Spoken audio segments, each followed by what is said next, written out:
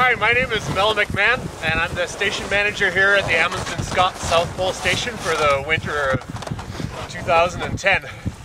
It's an absolute honor for me to be able to kick off Yuri's Night for 2010 here at the bottom of the world. Um, I wasn't around when Yuri made that first flight, and I still hadn't been born when we first set foot on the moon either, but at the age of five, I had a basic understanding of what we were doing when we sent the first shuttle up. And since then, the image of that shuttle has stood as a symbol to me for what we can accomplish when we put our minds to it, and personally as inspiration for all my own travels and adventures, which eventually took me down here.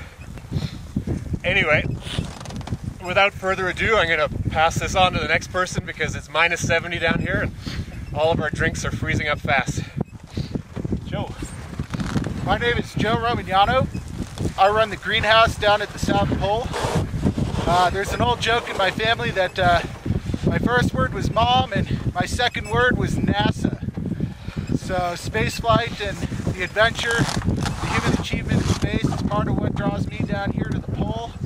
Uh, advanced life support system is something I'm interested in. It's why I run the greenhouse here and it's been an inspiration throughout my entire life. Hey, I'm Elda Derbyshire. I'm working down here for my second winter. Uh, Dover Dietrich, the night is falling. Uh, we're having a, a, pretty good time here as we're waiting for the darkness to come. I do remember the first man in space, and it was a thrilling time. Thank you very much for all the efforts for all of the people who've done that for us. Cheers, everybody. Cheers. Cheers. Cheers. To human spaceflight. Human spaceflight. Human spaceflight. To Yuri. To Yuri. Yuri.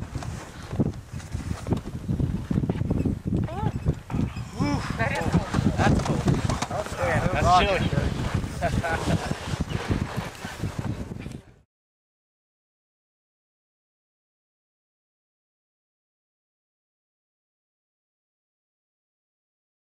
Brr.